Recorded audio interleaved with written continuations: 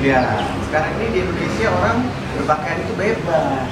Ada yang santai, Iya benar. ada yang pakai makannya doang, bisa olahraga, ada yang itu, ada yang pakai cadar. Eh, sekarang kita negara beragam, kita bisa menerima. Iya sih. Eh tapi maaf maaf ya. Kadang-kadang kalau kita ngomongin cadar itu kayak teroris ya. Terus soalin, terus kayak tertutup dari pergaulan atau kayak gimana gitu. Itu anggapan kita aja kan, anggapan masyarakat luas ya sebenarnya. Ya nggak tahu juga sih. Coba mungkin kita tanya sama Indah Gani. Hmm. Ini dari founder uh, Nikop Squad. Coba kita tanya ya. Ya, bener nggak sih anggapan-anggapan seperti ini?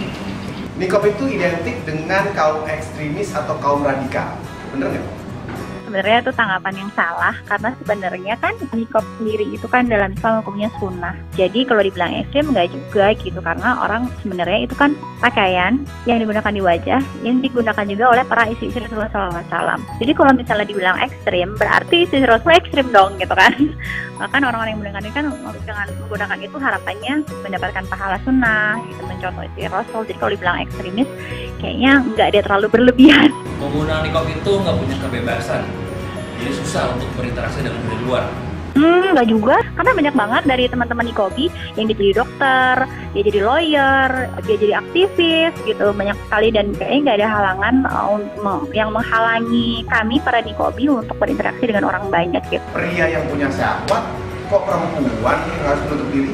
Ya karena itu ada sabda Rasulullah SAW bahwa ketika perempuan keluar rumah dia akan selalu dibayang-bayangi oleh setan. Jadi bagaimanapun bentuknya, perempuan itu akan kelihatan tetap cantik. Dan tugas laki-laki itu memang menundukkan pandangan dan tugas wanita itu adalah menghindari pandangan. Bukannya wanita yang harus karena laki-laki yang itu, tapi justru karena kita menjaga diri kita dan membantu para lelaki dan itu untuk kebaikan kita juga.